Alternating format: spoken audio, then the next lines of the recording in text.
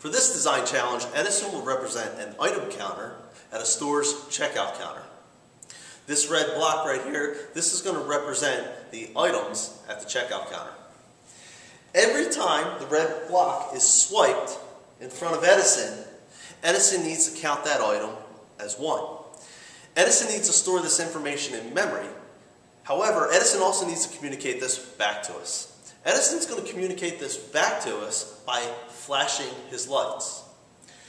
You should design your program so that at any point while the program is running, if you press the record button, Edison will flash his right light the number of times, or a certain number of times, based off of the items that he's counted during the checkout process. For this design challenge, there's a couple things that you should keep in mind when designing the program.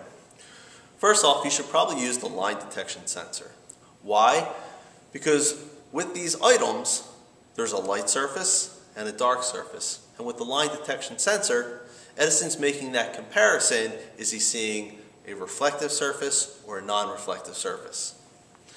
Also, you need to design your program with a way that Edison can store this information that he's counting. So you should probably design your program with a variable.